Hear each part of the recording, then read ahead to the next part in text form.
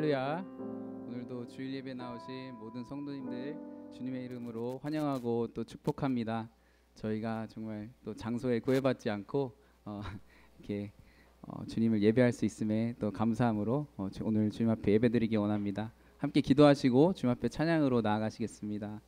어, 하나님 아버지 감사합니다. 주님 오늘도 주님께서 불러주신 이곳에서 어, 정말 온 우주 만물의 주인 대신 하나님을 예배합니다. 주님, 주님 이 시간 우리 예배를 받으시고 주님 홀로 영광 받아 주시옵소서. 주님만 찬양합니다. 예수님의 이름으로 기도드렸습니다. 함께 일어나셔서 어, 찬양하시겠습니다.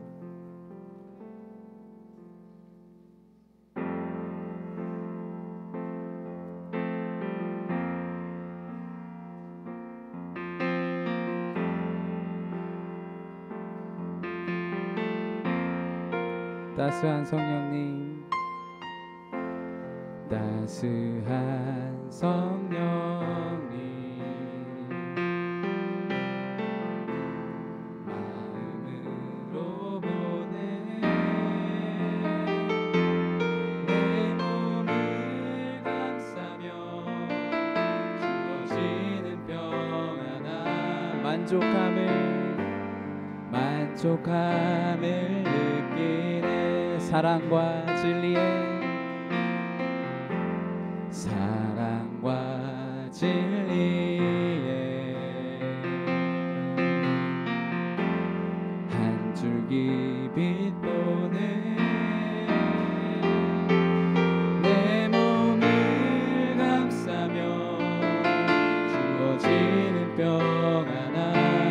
사랑을 그 사랑을 느끼 부르신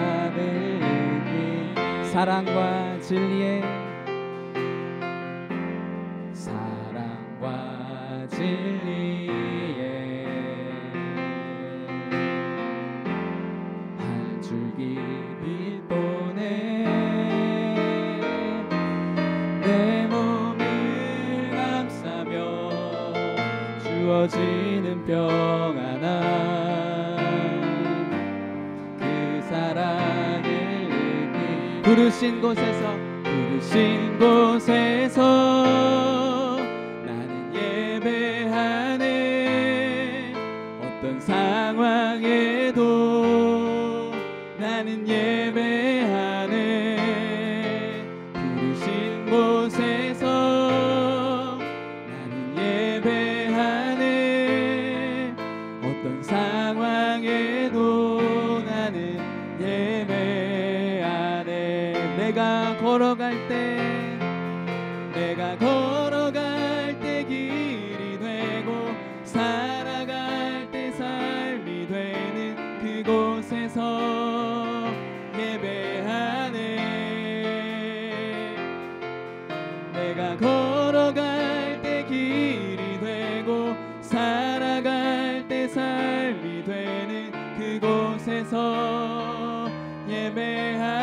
내가 걸어갈 때 내가 걸어갈 때 길이 되고 살아갈 때 삶이 되는 그곳에서 예배하네. 내가 걸어갈 때 길이 되고 살아갈 때내 삶이 되는 그곳에서 예배 부르신 곳에서 부르신 곳에서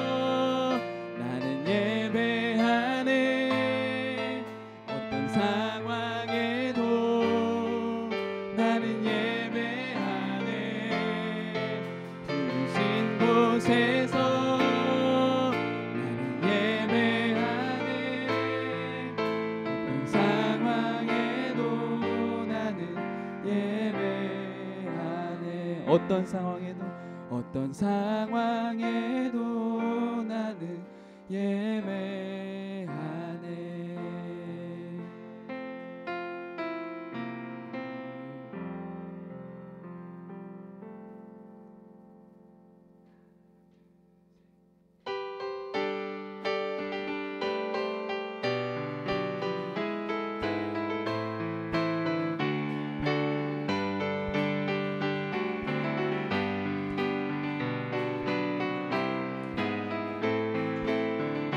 기쁨으로 박수 치시면서 찬양하시겠습니다. 내가 매일 기쁘게 내가 매일 기쁘게 순례의 길 행함은 주의 발이 나를 안보함이요 내가 주의 큰 복을 받는 참된 비결은 주의 영이 함께함 다시 한번 내가 매일 기쁘게 내가 매일 기쁘게 순례의 길 행함은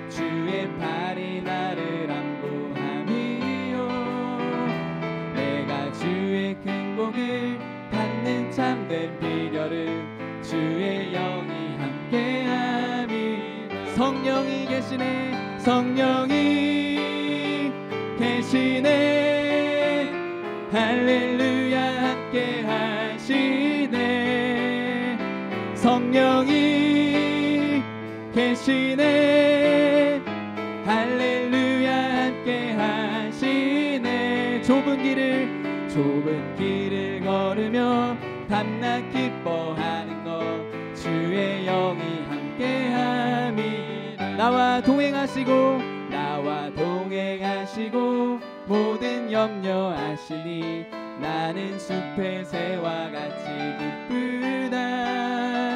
내가 기쁜 마음으로 주의 뜻을 행함은 주의 영이 함께하. 다시 한번 나와 동행하시고 나와 동행하시고 모든 염려하시니 나는 숲의 새와 같이 기쁘다. 내가 기쁜 마음으로 주의 뜻을 행함은 주의 영이 함께함이 성령이 계시네. 성령이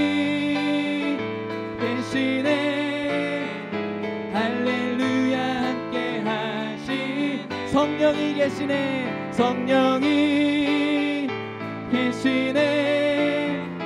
할렐루야 함께하시 좁은 길을 좁은 길을 걸으며 밤낮 기뻐하는 것 주의 영이 함께 하니 성령이 계시네. 성령이 계시네 다시 한번 성령이 성령이 계시네. 할렐루야 함께 하시네. 좁은 길을 걸으며 밤낮 기뻐하는 것 주의 영이 함께 함이라. 날마다 우리 함께 하시는 성령님께 영광의 박수 올리시겠습니다. 할렐루야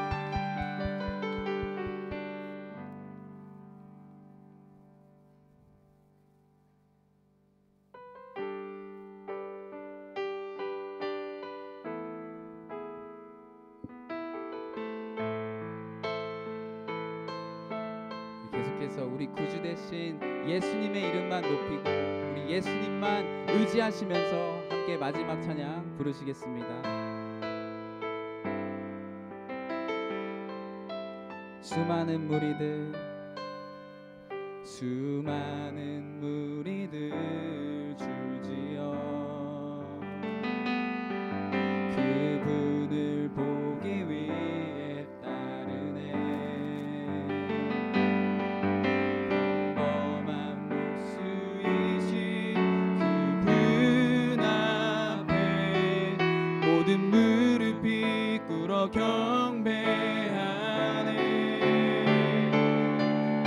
모든 문제들 하나하나 죽음까지도 힘을 잃고 죽음까지도 힘을 잃고 생명의 근원 대신 생명의 근원 대신 예수 이름 앞에 모든 권세들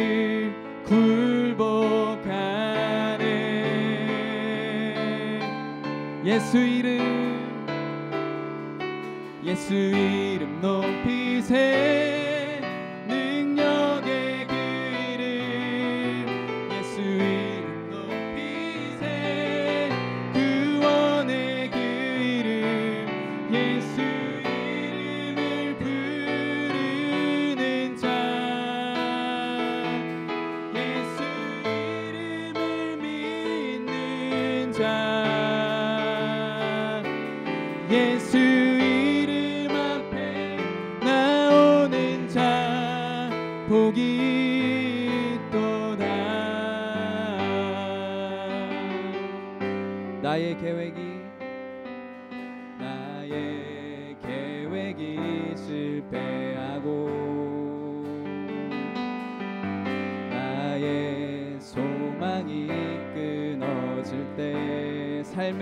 삶의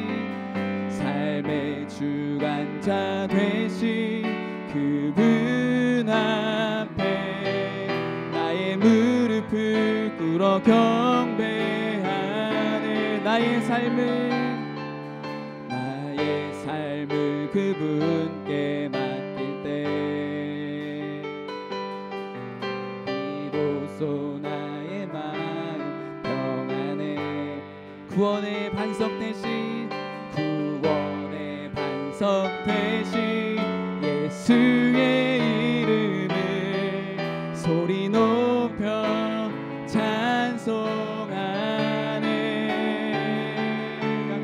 예수 이름 높이세.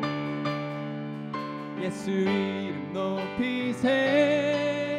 능력의 그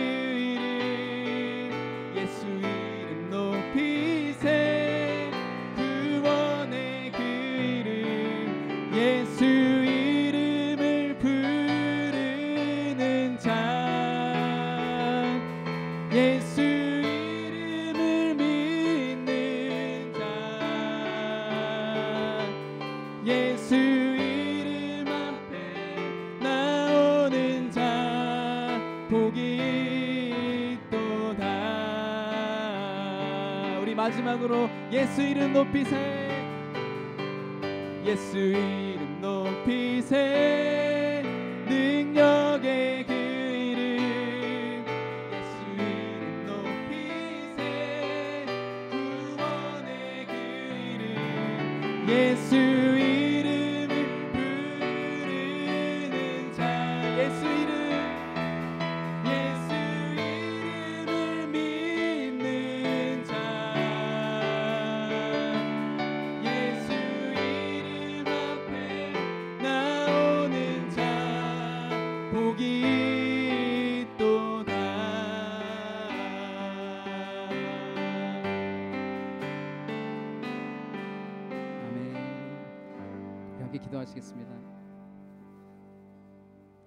네, 그렇습니다. 오늘도 어, 우리 생명의 근원 되시고 또 구원의 반석이 되신 예수님만 예배합니다.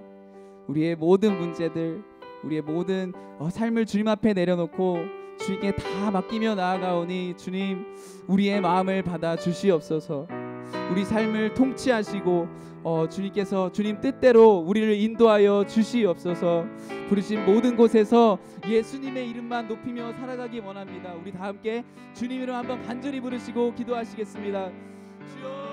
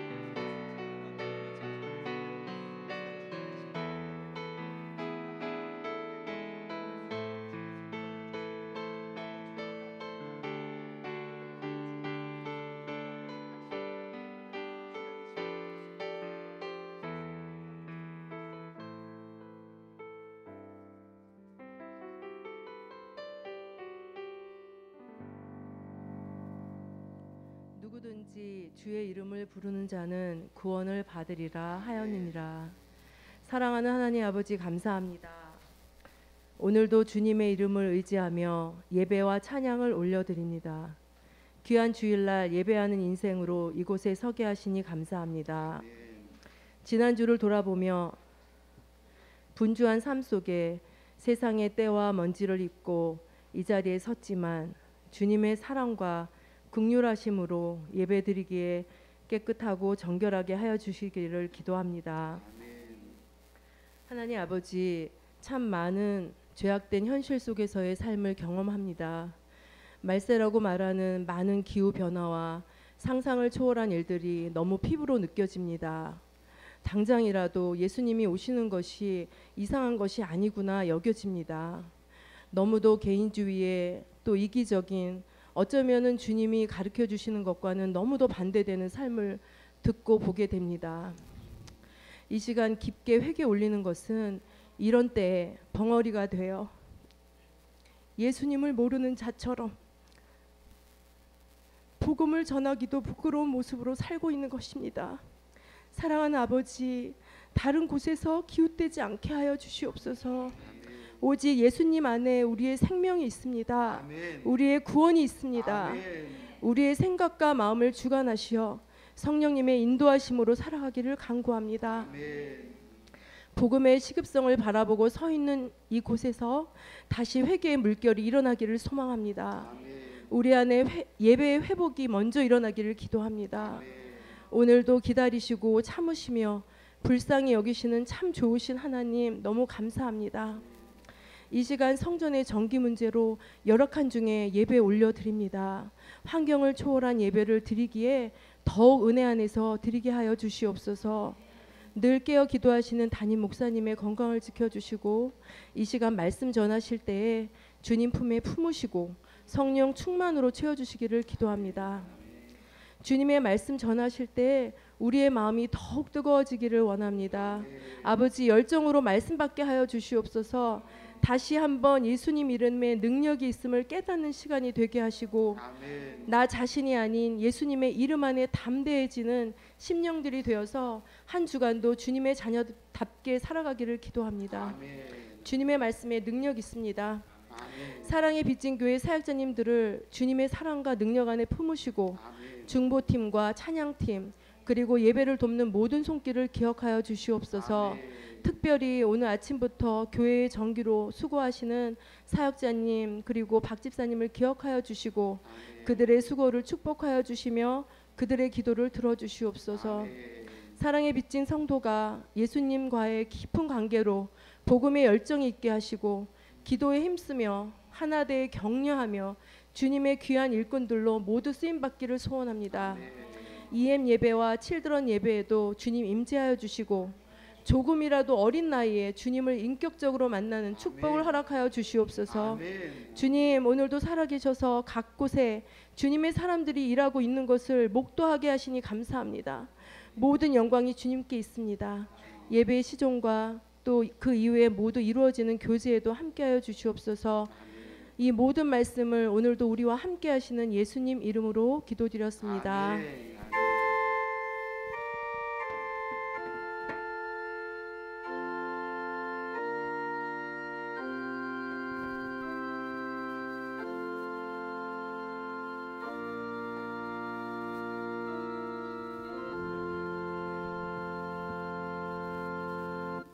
시간 찬송가 431장 찬송 함께 하시겠습니다.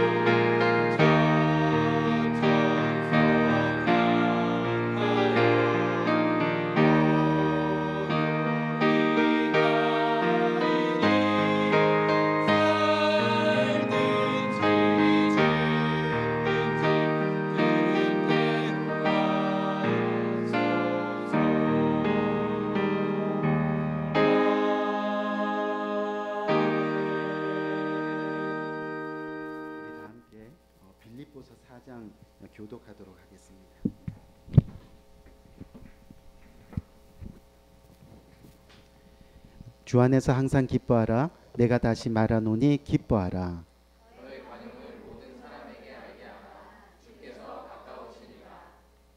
아무것도 염려하지 말고 다만 모든 일에 기도와 간구로 그리하면 모든 지각에 뛰어난 하나님의 평강이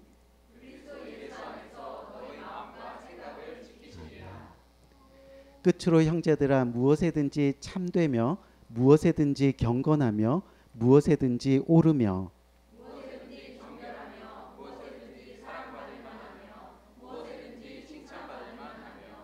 무슨 덕이 있든지 무슨 기림이 있든지 그것들을 생각하라.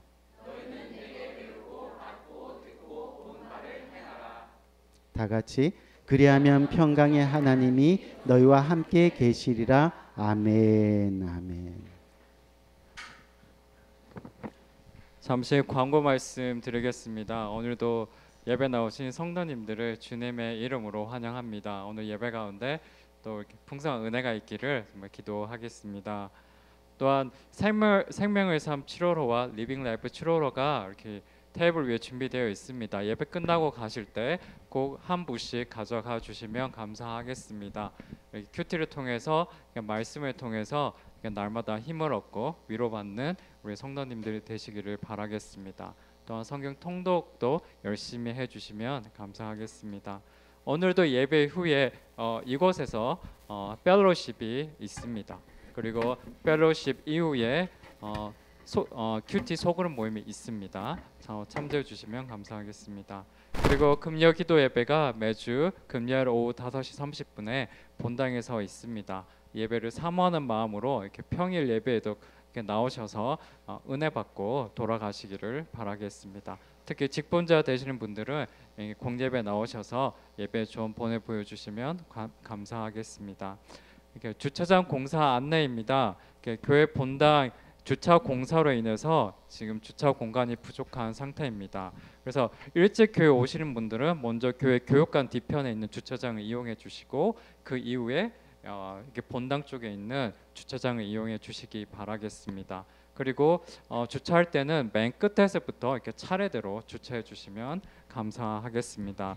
어, 참고로 교회 본당 앞 주차 공사는 두 달 정도 시간이 걸린다고 합니다. 담임 목사님 동정입니다. 그 영국 옥스퍼드 성교교회 초청으로 6월 30일부터 7월 2일까지 수련회 집회 인도를 위해서 사모님과 함께 출타합니다. 복음 전할 기회 주신 것에 감사하며 그곳에 가서 복음 전하는 사명 잘 감당하고 건강하게 돌아올 수 있도록 기도 부탁드립니다. 교육자 동정입니다. 우리 허재석 전도사님과 김윤주 사모님이 다음 주 월요일 7월 3일부터 3주간 한국을 방문할 예정입니다.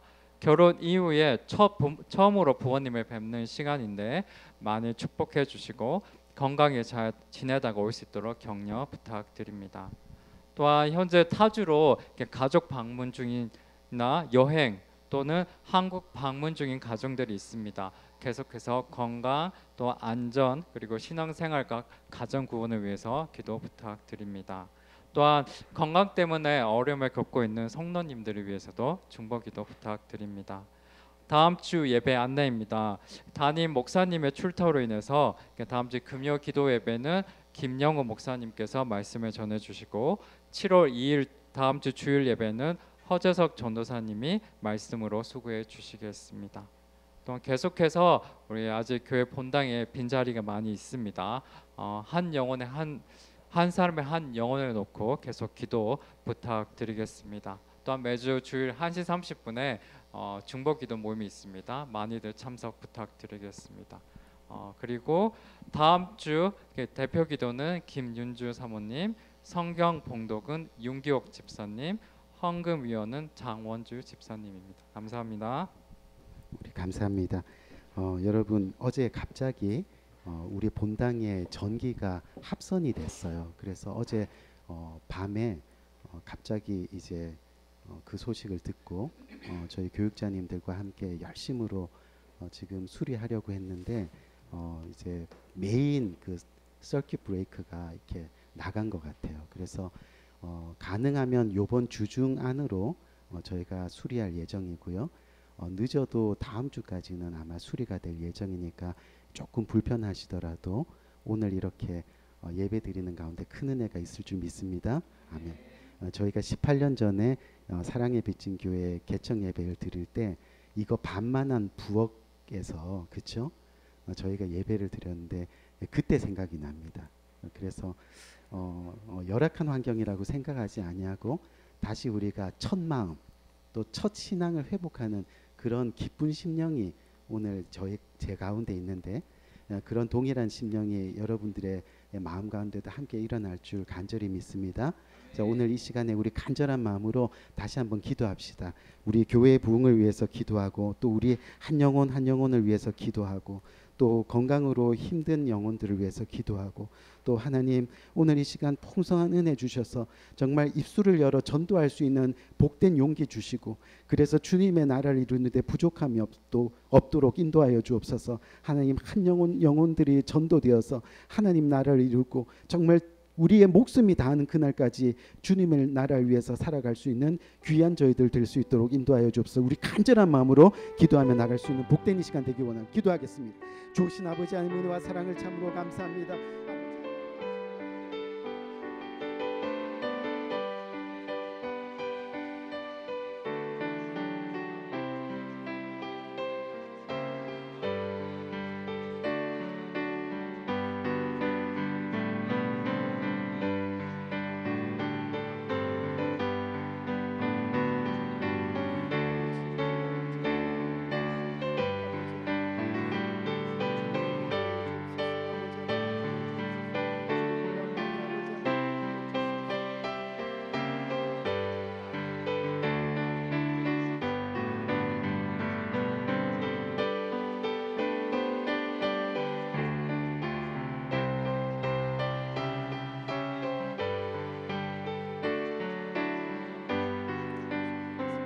예수 그리스도의 이름으로 간절히 기도합니다. 아멘. 아멘. 오늘 이 시간 성경 봉독 시간입니다.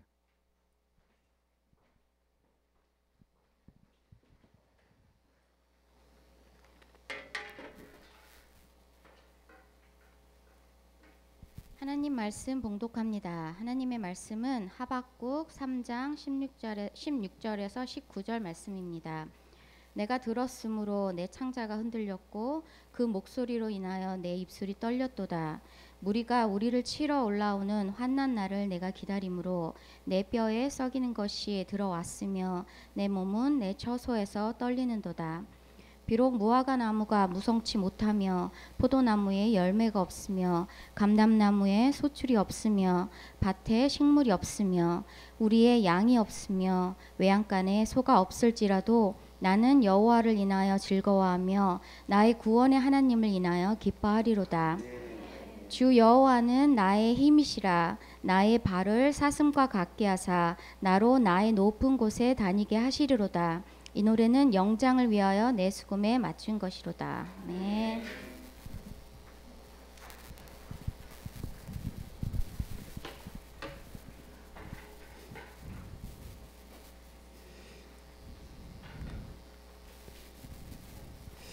어, 오늘 어, 주님 앞에 나온 우리 귀한 성도님들 어, 주님의 이름으로 환영하고 또 가족 방문과 또 어, 그또 타주로 이렇게 출타하셨던 우리 가족분들이 한 분한 분씩 이렇게 다시 복귀하게 돼서 참 감사합니다. 어, 마음을 다해서 환영하고요. 어, 그리고 어, 저희가 이제 어, 코로나 이후에 또 첫 집회가 잡혀서 어, 이렇게 그 미국 내에서만 집회를 이렇게 했었는데 하나님께서 또 영국으로 유럽으로 이렇게 진출하게 해주셨습니다. 예, 그곳에 가서 어, 집회하는 가정에 하나님의 큰 은혜가 있을 줄 믿습니다. 네, 오늘 갑자기 이렇게 집회 떠나기 직전에 어, 교회 본당 정기 어, 이런 일들이 터지고 그 생각하건대 하나님께서 얼마나 큰 은혜를 주실까 그런 생각을 하면서 사실 마음으로 어, 더 기대하게 되고 네, 그렇습니다. 또 그곳에 가서 어, 집회만 인도하는 것이 아니라 어, 저와 제 아내가 그 집회 기간 중에 그 교회 분들과 함께 어, 노방 전도를 합니다. 그런 프로그램이 있는데 어, 저는 잘 몰랐었는데 아마도 그 프로그램이 어, 있기 때문에 저희가 선교 여행을 먼저 가서 하나님께서 그렇게 훈련시키 시켜 주셨는지 모릅니다. 그래서 그곳에 가서 또 모르는 어, 분들 붙들고 또 복음 전할 때 담대함으로 어, 전할 수 있도록 그렇게 기도해 주시고 또 여러분 아시다시피 어, 저 제가 건강에 문제가 좀 있어서 어, 제 아내가 저를 많이 간호해야 될 그런 상황이 있습니다. 여러분들 어, 둘 다 지치지 않고 어, 잘 돌아올 수 있도록 또 이제 어, 그 자가 면역 합병으로 인해서 어, 여러분들에게 보여드리긴 좀 그렇지만 이렇게 등 뒤에 이제 소라이시스가 거의 등을 덮었습니다. 네, 그래서 어, 제가 이제 그 한국에서 처방전을 받아온 어, 약으로 이제 치료하는데 여러분들 잘 아시잖아요, 그렇죠? 제가 팔이 짧아갖고 이게 자라지가 않아서 제 아내의 손길이 꼭 필요합니다. 네, 여러 모양으로 하여튼 그곳에 가서 큰 은혜 되는 어, 복된 시간 되도록 기도해 주시기를 어, 간절히 바라고요. 오늘 이 시간에 인생 시리즈 어, 마지막 네 번째 시간으로 우리 한번 따라할까요? 기뻐할 수 있는 인생. 예, 기뻐할 수 있는 인생이라는 제목으로 함께 은혜를 나누려고 합니다. 여러분 기억하실지 모르겠는데 인생 시리즈 첫 번째 시간에 우리가 어떤 것을 함께 은혜로 나누었죠? 우리 인생에는 뭐가 있다는 것을 기억해야 된다고요? 죽음이 있다는 것을 기억해야 한다라고 그렇게 이야기했습니다. 예, 그리고 두 번째 시간에는 하지만 하지만 우리 인생에 구원이 있기에 또 우리가 주님을 믿는 믿음으로 말미암아 구원받은 인생이기 때문에 죽음을 두려워할 필요가 없다라고 그렇게 말씀드렸습니다. 그리고 지난 시간 세 번째 우리 인생은 어떤 인생이 됩니까? 바로 죽음을 극복한 그래서 하나님을 신뢰하면서 그렇게 하나님과 끝까지 동행하는 인생이 되어야 된다라고 그렇게 예, 말씀드렸습니다. 오늘 인생 마지막 네 번째 시간으로 그렇기 때문에 우리 인생은 어떤 인생이 되어야 됩니까? 기뻐할 수밖에 없는 인생이 되어야 한다라는 것을 어, 여러분들과 함께 나누면서 그렇게 귀한 은혜의 시간을 예, 가지길 원합니다. 이 1618년도 여러분 생각해 보면 불과 몇백 년 전입니다. 어, 많은 그런 세월이 지난 것도 아닌데 1618년도에 이 유럽에서 아주 큰 전쟁이 일어났습니다. 어떤 전쟁이었느냐면 이 로마 카톨릭 교회를 지지하는 국가들과 그리고 프로테스탄트 교회를 지지하는 그 유럽 국가들 사이에 전쟁이 일어났습니다. 혹시 세계사 공부하신 분은 아시겠지만 이 전쟁을 우리는 뭐라 부릅니까? 어? 십자군 전쟁. 아, 맞나요? 30년 전쟁이라고 혹시 들어보셨나요? 십자가 전쟁은 중세 아닌가요? 네, 30년 전쟁. 이, 이 30년 전쟁이 일어났습니다. 전쟁이 오래되다 보니까 이 전쟁으로 인해서 그 유럽 국가들이 약 800만 명이라는 사망자가 발생하게 되었습니다. 아마도 세계사를 공부하신 분들은 이 전쟁을 기억할 겁니다. 인류 전쟁사에서 가장 비참하고 또 가장 잔혹했던 전쟁 중에 하나가 바로 이 30년 전쟁입니다. 그때 유럽 국가들 중에 이 독일이란 국가가 정말 많은 피해를 입게 되었는데 그 당시 독일 어느 시골 교회의 이 목사님이요. 이 전쟁 중에서 부상당한 이 마을 사람들을 찾아다니면서요. 이 치료도 해주고 또 위로도 해주고 또 격려도 해주고 이 그런 사역을 그 당시에 감당을 했다고 합니다. 이 그날도 어김없이 이 목사님 시골 목사님 네 분이 아침에 일어나서 이 사역을 위해 나갔다가 또 동네 사람들 마을 사람들을 많이 위로하고 저녁 늦게쯤 이제 집으로 돌아왔는데 이 목사님과 사모님 이 눈앞에서 이 교회와 그리고 자기가 살던 그 집이 통째로 불이 타가지고 이 잿더미로 변해 있는 모습을 이 보게 되었습니다.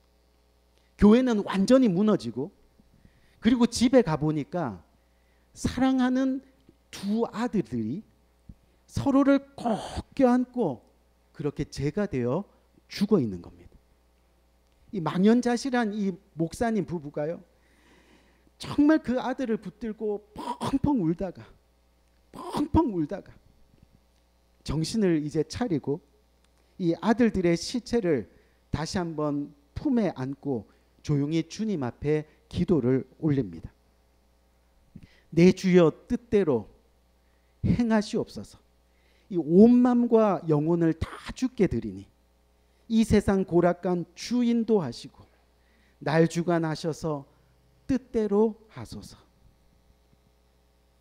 이 목사님의 이름이 바로 벤자민 슈몰크 목사님입니다.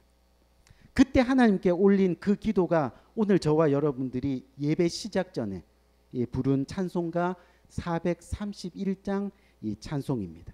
바로 내 주여 뜻대로 행하시옵소서. 이 벤자민 목사님의 기도의 내용이 바로 이겁니다. 비록 세상은 나를 슬프게 만들고 또 나의 인생 여정에 괴로움과 아픔이 있다 할지라도 내 인생은 주님 인도대로 살아가길 원합니다. 아멘. 주님 인도대로 살아가길 원합니다. 부디 나의 마음을 주관하셔서 주님 뜻대로 살게 하여 주옵소서. 주님께서 주신 그 구원의 기쁨 빼앗기지 아니하고 더욱 천국 바라보며 그렇게 즐겁게 살게 하여 주옵소서. 아멘. 그 기도의 제목을 올려드렸습니다. 제가 18년 전에 이곳 알링턴에 왔을 때 어, 여러분 중에 기억하시는 분들 아마 있을 겁니다. 알링턴에서 유명하신 분 중에 하나셨는데 어떤 분이냐면 다리를 절단하고 휠체어를 타고 다니시는 분이 계셨습니다. 기억하실 겁니다. 그렇죠? 머리는 이제 볼드 머리로 하시고 근데 그분이 늘 Glenoaks Boulevard 그 길에서 운전자들에게 Don't forget your smile 그 팻말을 들고 항상 이 운전자들을 응원해 주시는 그런 분이셨습니다. 남의 집 허드렛 일을 하면서 지내시는 그런 분이셨는데 그분을 만날 때마다 늘 그 얼굴에 미소가 넘쳐났습니다. 그래서 오래전에 제가 여러분들에게 설교한 기억이 있는데 한 번은 이야기할 기회가 있어서 제가 차를 멈추고 그분과 이야기를 나눈 적이 있습니다. 그랬더니 그분이 뭐라고 이야기하느냐면 자신은 술이나 담배나 마약을 하지 않는다는 겁니다. 그리고 구걸하기 위해서 이곳에 있는 것이 아니라고 그렇게 이야기했습니다. 자기처럼 사고로 두 다리를 잃은 사람도 자기의 인생을 불행하다고 생각하지 않고 미소 지을 수 있는데 사람들에게 제발 당신의 미소를 잃지 마세요. Don't forget your smile. 격려하고 싶어서 위로하고 싶어서 칭찬하고 싶어서 그 일을 하는 거라고 그렇게 이야기를 했습니다. 그러면서 두 다리 잃어도 이렇게 미소를 잃지 않고 살아갈 수 있는데 두 다리 있는 사람들 더 기뻐하며 살아야 되지 않겠느냐고 하시는 겁니다. 세월이 오래 지났는데 한 6년 7년 전부터 그분이 보이지 않습니다. 아마도 나이가 많이 드셨기 때문에 돌아가 셨을지도 모르겠습니다. 하지만 제 생각에는 죽는 순간까지도 그분은 아마 미소를 잃지 않으셨을 것 같습니다. 우리가 잘 아는 1970년대 초 이 전 세계가 이 함께 운동한 것이 있는데 그것이 뭐냐면 스마일 운동이었습니다. 학교에서 스마일 배지를 달게 하고 또 서로 마주보고 웃는 얼굴 그 웃는 훈련들을 하는 그런 시기였습니다. 여러분 사실 우리 대한민국만 봐도요. 우리 대한민국만 봐도 웃을 수 있는 시간이 별로 없었습니다. 왜요?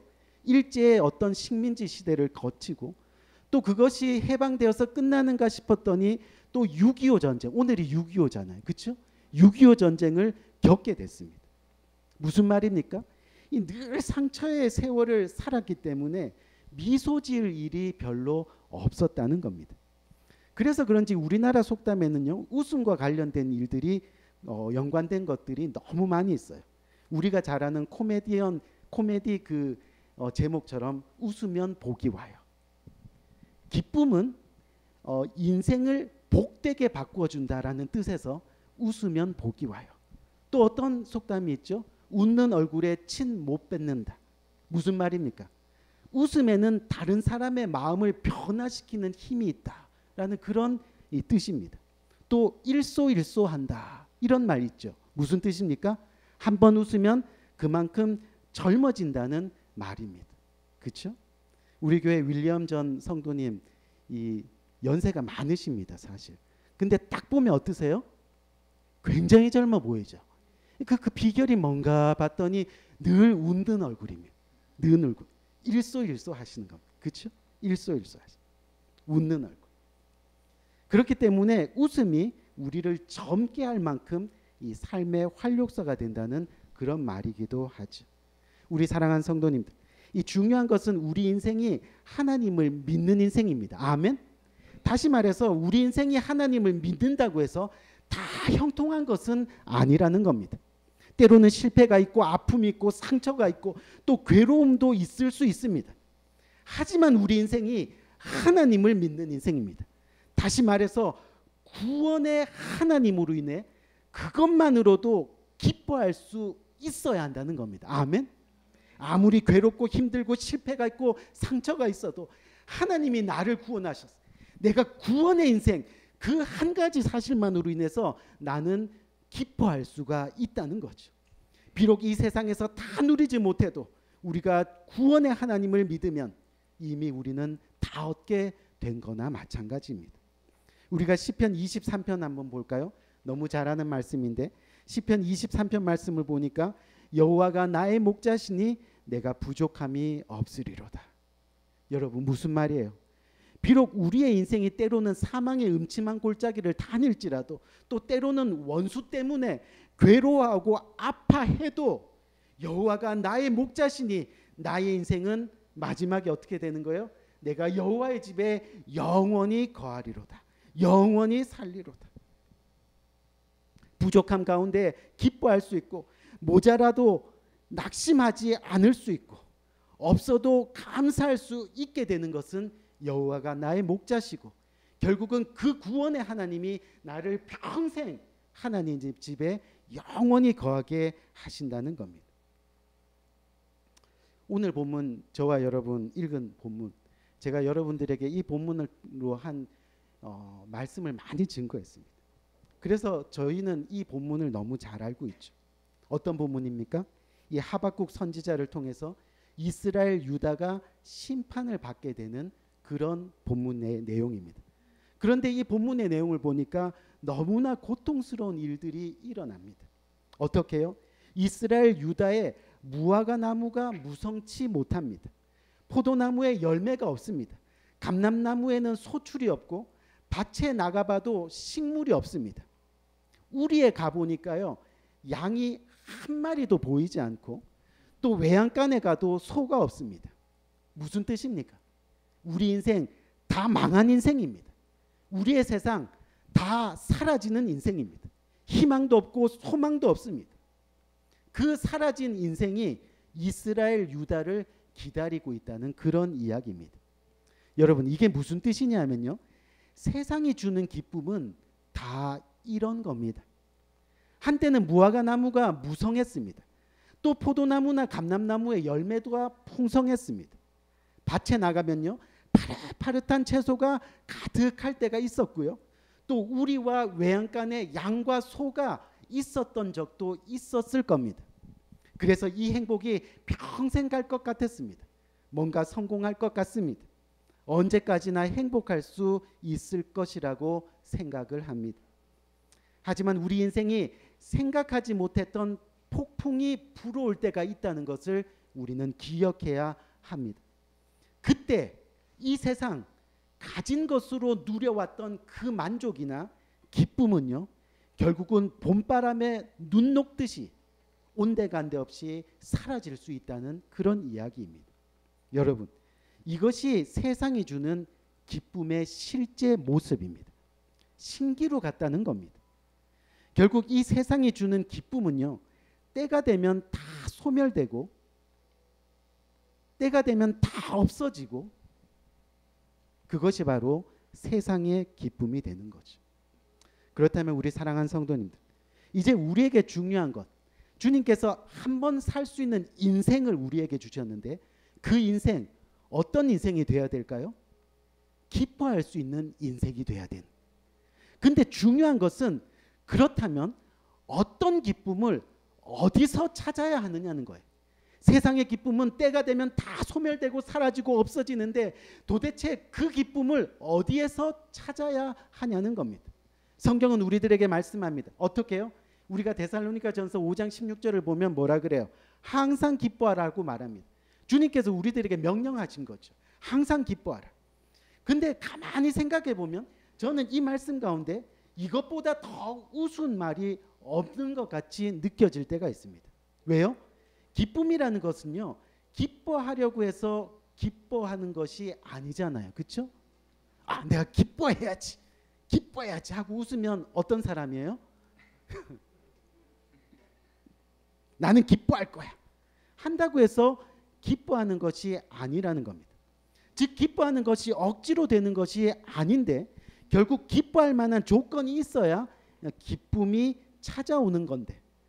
그런데 오늘 말씀 이 말씀을 보면 거기다 덧붙여서 항상이라는 단어를 사용하고 있습니다. 사람이 어떻게 항상 기뻐할 수가 있느냐는 겁니다. 하루에도 수십 번씩 우리의 감정을 건드리는 일들이 얼마나 많이 있습니까? 그에 따라서 또 수십 번씩 이 감정의 변화를 우리는 겪게 됩니다.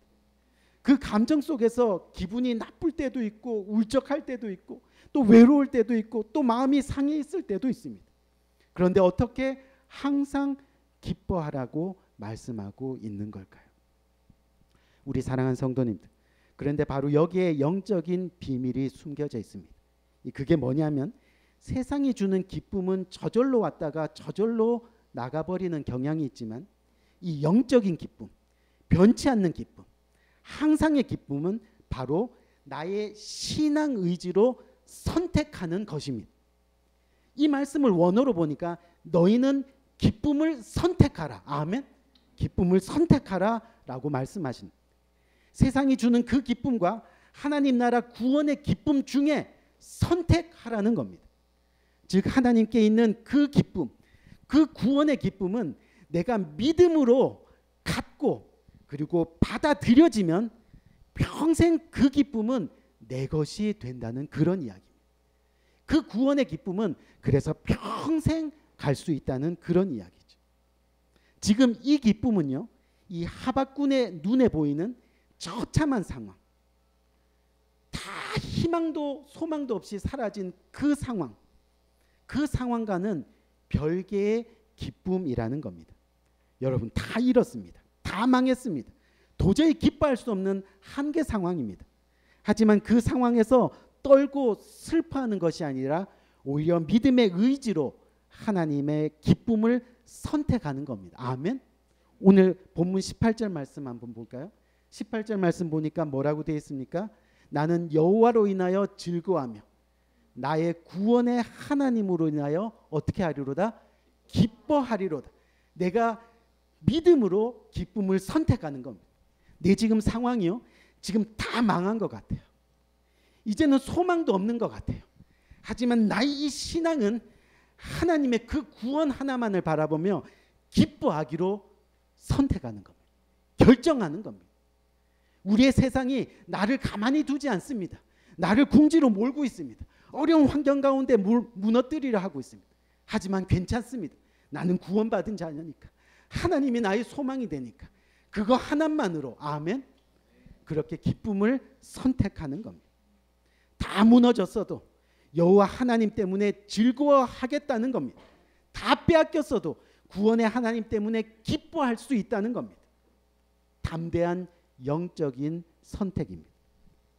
영적으로 선택하여 얻은 것이기 때문에 그 기쁨은 영원한 겁니다. 제가 오래전에 어, 제 기억으로는 지금 한 8년 정도 된 것 같은데 제가 저 위쪽 지역에 이 유학생 유학생들이 거의 한 80% 정도 모여 있는 그런 교회 학생 수련회 집회를 인도하러 간 적이 있습니다. 근데 그때 수련회 오후에 그 성도님들이 이제 게임을 이제 했는데 이 게임을 하는데 이제 보니까 둘둘 그러니까 부부 둘 그다음에 뭐 친구 짝 지어서 둘 이렇게 둘둘 짝을 지어서 이렇게 나오라고 해가지고 그들에게 질문을 하고 나서 같은 대답이 나오면 그냥 상품을 주는 그런 게임입니다. 그 상품을 일부러 주려고 이렇게 만든 게임이죠. 근데 그때 제 기억으로는 한 40대 중반이 조금 넘은 그 유학생 교회인데 그 현지의 이민자들이 이 교회를 다녔, 다녔던 것 같아요.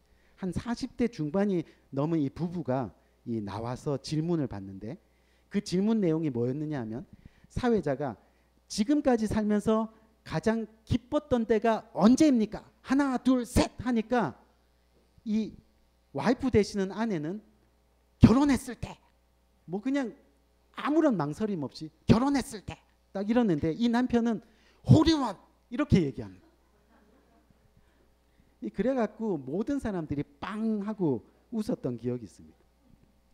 사회자가 그냥 선물 주려고 했는데 그 일 때문에 막 부부 싸움도 일어나고 이 남편은 아내보다 홀인원이 더 기뻤나 봅니다. 이 사실 홀인원은요 골프를 치시는 분들은 평생 한 번 나올까 말까 하는 거니까 정말 기쁠 수 있겠죠. 하지만 여러분 생각해 보세요.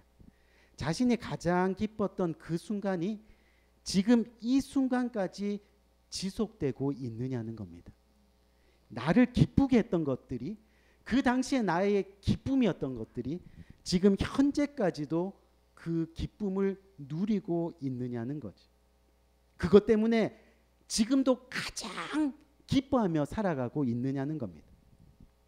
아마 제 생각에는 그 아내에게는 지금은요 결혼이 왼수가 되어 있을 겁니다. 아니 왼수가 아니라 그냥 평생 왼수, 그렇죠? 또 그 남편에게 이 홀인원 했던 공은 지금쯤 어느 상자에 처박혀 있을 수도 있습니다. 전혀 기쁨이 되지 못할 수도 있다는 거죠. 우리 다시 한번 본문 18절 말씀 한번 볼까요? 나는 여호와로 인하여 즐거하며 나의 구원의 하나님으로 인하여 기뻐하리로다. 아멘. 아멘. 우리가 주님의 구원 하나만 바라보면서 기뻐하기로 작정하는 겁니다. 아멘. 기뻐하기로 결단하는 겁니다. 여러분, 목사인 저를 한번 보세요.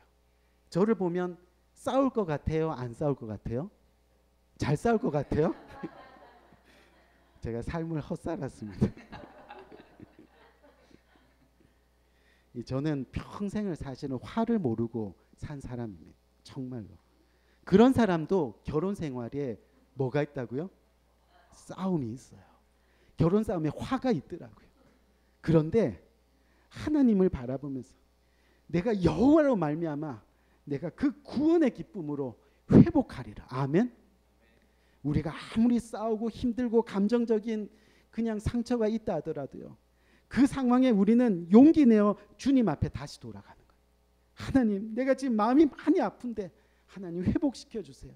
하나님이 나의 구원의 하나님이시잖아요. 하나님이 나의 생명의 하나님이시잖아요. 아멘.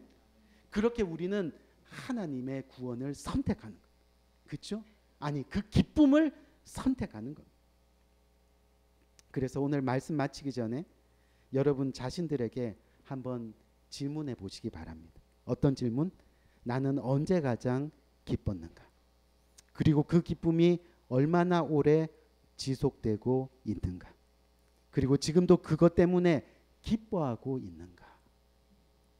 우리 사랑하는 성도님들, 우리에게 기쁨을 주는 세상은 모든 것에 한계가 있습니다. 다시 말해 언젠가 끝이 난다는 겁니다. 하지만 영원히 지속되는 기쁨이 있습니다. 그것이 바로 구원의 기쁨입니다. 아멘. 이 구원의 기쁨은 세상에서 줄 수 없는 기쁨입니다. 영원한 기쁨입니다. 영원한 가치를 가진 일입니다. 우리가 세상에서 하는 일 중에 영원한 가치를 가진 일이 얼마나 되겠습니까? 왜요?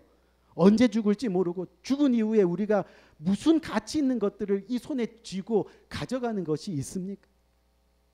하지만 언제 죽을지 모르지만 죽음을 맞이하는 그 순간에 다 없어지고 사라진다 하더라도 구원을 얻은 일은 영원한 가치가 있는 일입니다. 아멘.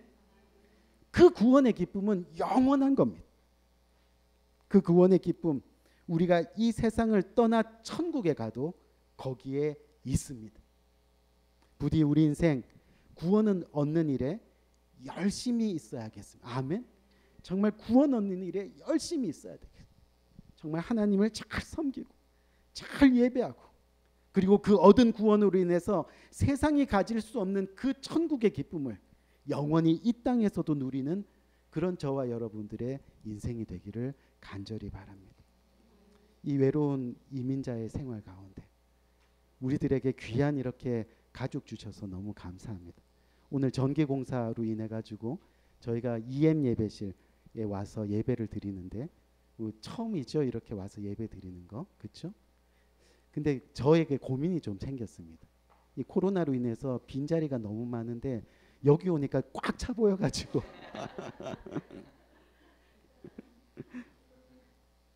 우리 어, 이 땅에서 살아가는 날 동안 우리 서로 사랑합시다. 아멘. 그 서로 격려하고 그렇게 서로 기쁨으로 우리 살아가는 복된 어, 우리 모든 가족 되기를 주님의 이름으로 간절히 축원드립니다. 우리 한번 기도할까요? 우리 간절한 마음으로 한번 기도하는데 우리 어떻게 기도하느냐 하면 하나님 지금까지 살아오면서 세상이 주는 기쁨 뒤돌아보니 지금 이 순간에 그 기쁨이 사라진 지 오래됨을 고백합니다.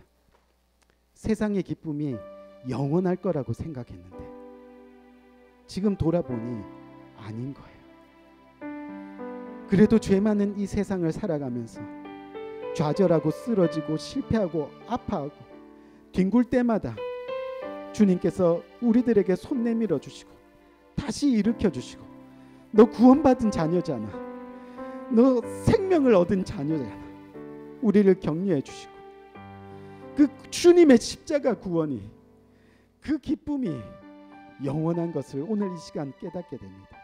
하나님 어떠한 상황 속에서도 우리를 구원하신 주님으로 말미암아 기뻐하고 즐거워할 수 있는 복된 삶을 살아갈 수 있도록 주께서 인도하여 주옵소서. 우리 간절한 마음으로 이 말씀 붙들고 기도하며 나갈 수 있는 복된 이 시간이 되기를 기도하겠습니다. 조신 아버지 하나님 은혜와 사랑을 참으로 감사합니다.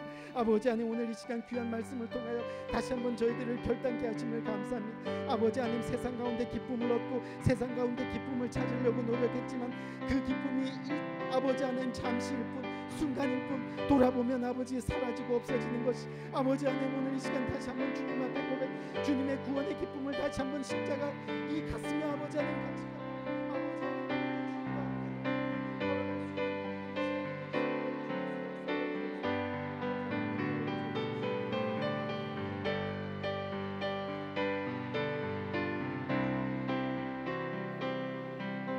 우리 오늘 이 찬송의 고백을 통해서 하나님께 영광 돌리면서 또한 봉헌하는 시간 가지기 원합니다.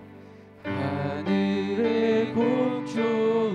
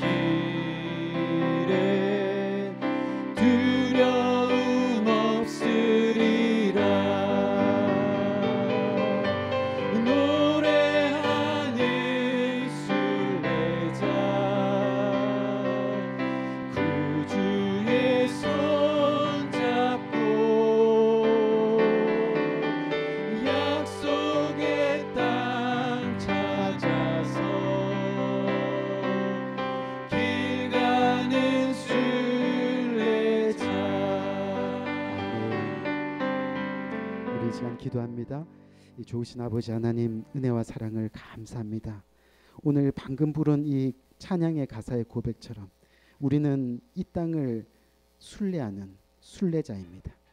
태어나서 언젠가 죽음을 맞이하는 그 순간이 있는데 그때까지 우리는 정말 생명을 찾아 순례하는 순례자임을 이 시간 고백합니다. 주님, 우리의 인생 가운데 우리의 주님이 되어 주시고 또 우리의 구원자 되어 주시고 또한 하나님의 자녀 삼아 주시고 천국의 구원을 선물로 주신 은혜 너무나 감사한데 오늘 이 시간 주님의 은혜에 감사해서 주님 앞에 예배하러 나올 때 주님의 말씀에 순종하여 우리 가진 것 중에 그 일부를 떼어 주님 앞에 올려드립니다. 내 가진 모든 것이 주님의 것입니다. 믿음으로 고백하며 드려지는 복된 손길들 하나님 오늘 이 시간 하늘 문 여시고 복 주시되 풍성하게 차고 넘치게 복 주셔서 세상 끝나는 날까지 주님께서 주시는 하늘의 기쁨 잃지 아니하고 언제나 스마일 그 미소를 지으며 주님의 영광 드러내며 살아갈 수 있는 복된 손길 손길들 될 수 있도록 주께서 은혜 위 은혜로 함께하여 주옵소서. 감사합니다. 예수 그리스도 이름으로 간절히 축복하며 기도드렸사옵나이다. 아멘. 아멘. 감사합니다. 우리 마지막으로 다 같이 일어나셔서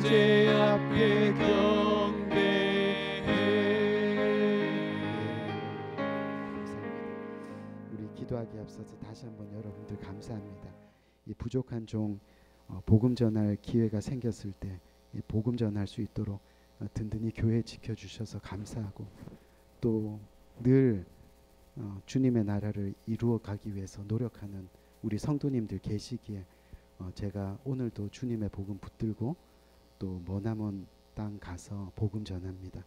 여러분 돌아오는 날까지 기도해 주시고 또 만날 때 어, 정말 기쁨으로 다시 여러분들과 만나는 이 복된 시간 될 수 있도록 어, 그렇게 기도 부탁드리면서 기도하겠습니다. 지금은 우리 주 예수 그리스도의 은혜와 하나님 아버지의 무궁하신 사랑과 성령님의 감화 감동 교통하심의 또 다른 큰 은혜가 오늘 이 시간 주님 앞에 고개 숙여 세상이 주는 기쁨이 아니라 주님께서 베풀어 주신 그 구원의 기쁨, 그 영원한 기쁨, 이 가슴에 언제나 간직하며 끝까지 세상 끝나는 그날까지 죽음이 찾아오는 그날까지 하나님 끝까지 기쁨으로 주님과 동행하기를 원합니다. 고개 숙여 주님께 이렇게 다짐하며 주님과 함께 평생 살아가기를 원하는 이 고개 숙인 모든 주님의 사랑하는 권속들 머리 위에 지금부터 영원토록 함께 하시기를 예수 그리스도의 이름으로 간절히 축원드리옵나이다. 아멘. 아멘.